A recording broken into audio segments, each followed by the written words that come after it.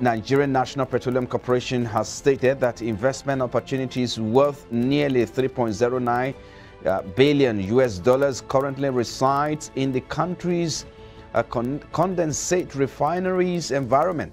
Group Managing Director of NNPC, Malam Mele Kyari, disclosed this yesterday in Lagos in his keynote address at the 15th Oil Trading and Logistics Africa Downstream Week.